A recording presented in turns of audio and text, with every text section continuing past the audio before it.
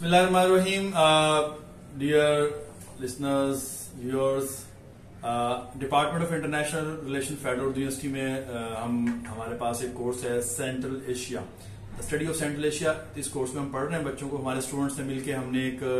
Project uh, पे काम करना शुरू कर दिया।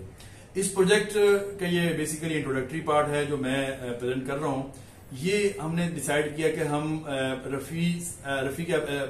एबिजोव की बुक है the Palgrave concise historical atlas of central Asia central Asia पे बड़ा अच्छा उन्होंने बहुत कंसाइज उन्होंने बहुत तरीके से, बहुत मुख्तर सी हिस्टोरिकल उस पर हिस्टोरिकल एवोल्यूशन है सेंट्रल एशिया को उस पर बहुत डिटेल में बात की है.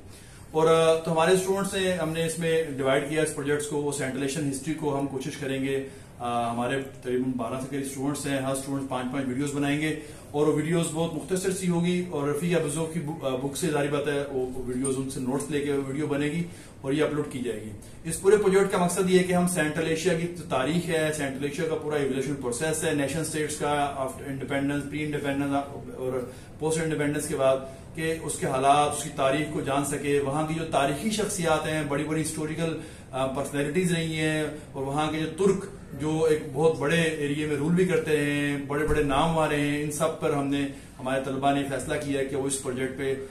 छोटी छोटी वीडियोस बनाएँगे और अपने यूट्यूब जो हमारा डिपार्टमेंट ऑफ़ आई का यूट्यूब का ऑफिशियल चैनल है, उस पर अपलोड करेंगे ताकि हमारे जो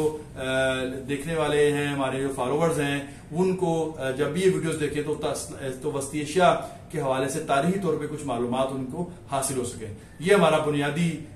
मकसद इस प्रोजेक्ट को काम करने का। होपफुली आप इसमें इंजॉय करेंगे।